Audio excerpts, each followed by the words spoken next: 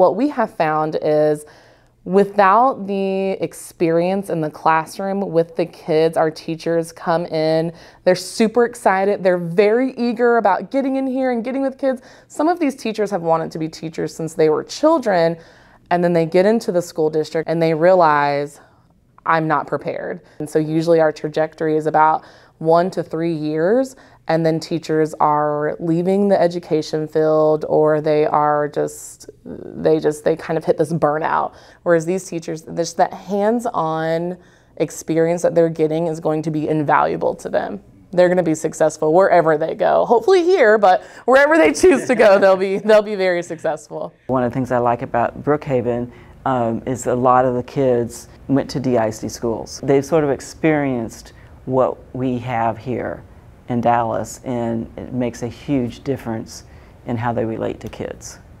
Um, so for me, that's like the perfect candidate to be the ones coming from, from Brookhaven right down the road.